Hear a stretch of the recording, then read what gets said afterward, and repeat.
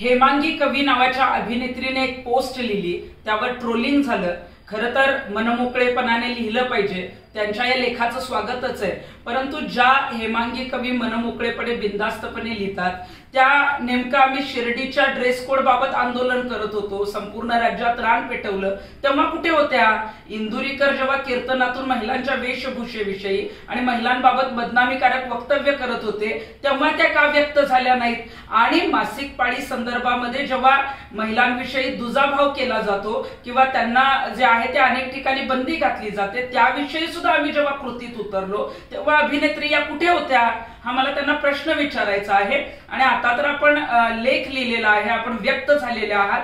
परंतु भूमाता फाउंडेशनच्या माध्यमातून आमची तर एक संकल्पना अशी आहे की नो ब्रा डे किंवा ब्रालेस डे अशा पद्धतीचा एक दिवस जो आहे तो महाराष्ट्रात आम्हाला साजरा करायचा आहे. नक्कीच त्याच्यात तुम्ही सहभागी व्हाल अशी आमची अपेक्षा आहे.